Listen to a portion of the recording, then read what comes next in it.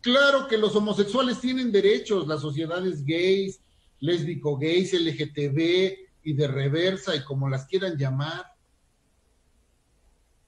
Todos tienen derechos como seres humanos a elegir su sexualidad. Hace rato una diputada lo mencionaba y es verdad, pero no afecten un código civil diseñado para el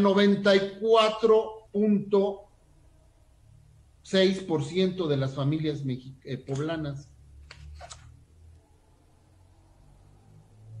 ¿Cuánta ignorancia? el, por poner de moda a un grupo y quedar bien con el grupo de las personas homosexuales,